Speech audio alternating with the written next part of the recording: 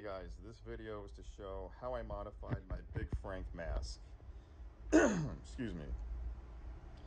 The way these come is just a standard mask.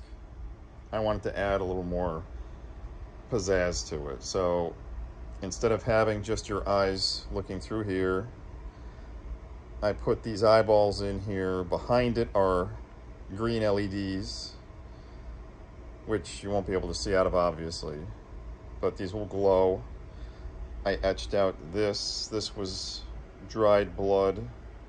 I took an X-Acto knife and cut that out so that it was open. I took a red mesh material and put it behind there.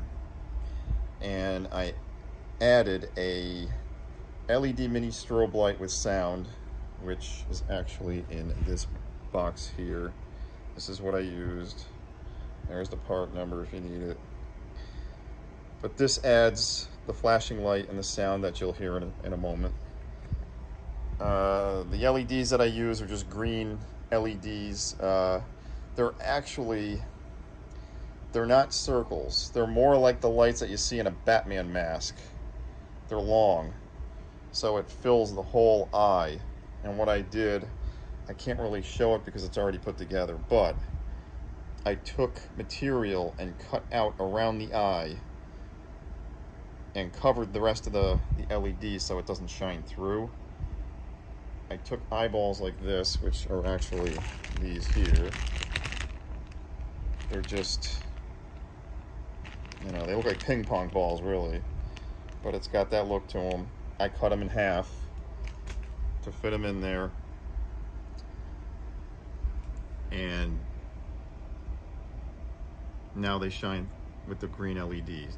Now, the problem is, when you do that, now you can't see out of the mask. So I had to come up with an idea to actually, you know, put somewhere where I could see. So I split the mouth enough where it parts just enough so that I can see.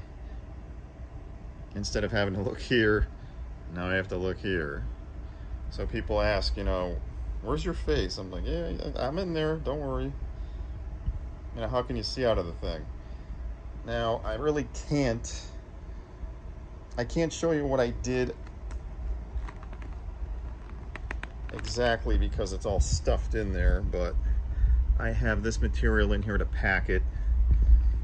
This is the box of the LED for the lights. I'm just gonna switch that on so it's on. So.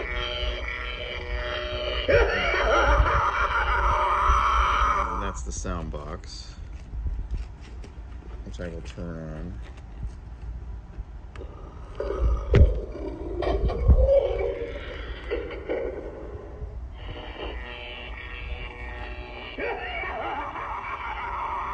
Just to give it more of an effect.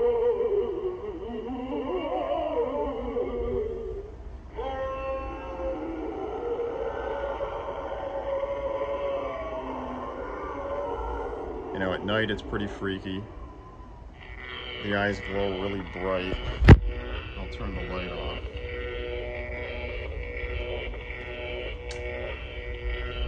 So you can see how bright they are.